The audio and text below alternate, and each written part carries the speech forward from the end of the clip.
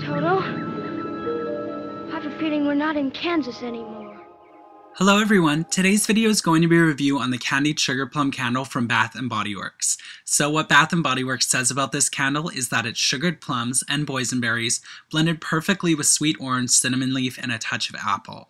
So the wax color of this candle, as well as the picture on the front of the candle, is super gorgeous. The wax is a stunning purple-violet color, and the picture features sparkling candy on the front. How cute is that? This was a re-release from last Christmas, and it featured the old packaging from holiday 2012.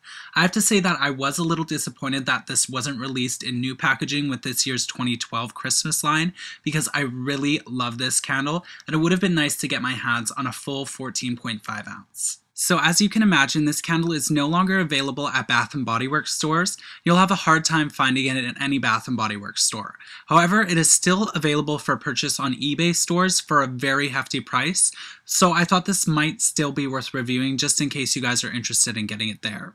So the cold sniff of the candied sugar plum is sweet and sugary, as its name suggests. I definitely get the authenticity of the plum coming through, which I really love. So once this candle is burning and the wax is pooling, its sweetness definitely comes out full force. However, this candle to me is best in smaller rooms, especially if you have the 4 ounce, to get the most even scent throw and a good throw throughout the entire room. I wouldn't think you would have a problem if you had a 14.5 ounce, it should be no problem. While this scent does have complex notes, the main one you will get from its burn are the sugar and also the plum, of course, with the rest of the notes being very mellow and lightly scented. So as for the flames and wax pooling of this candle, I would say they are decent.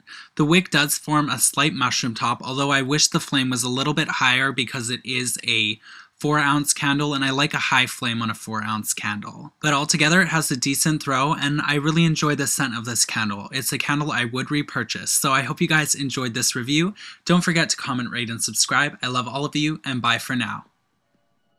And think to yourself, there's no place no place like home. There's no place like home.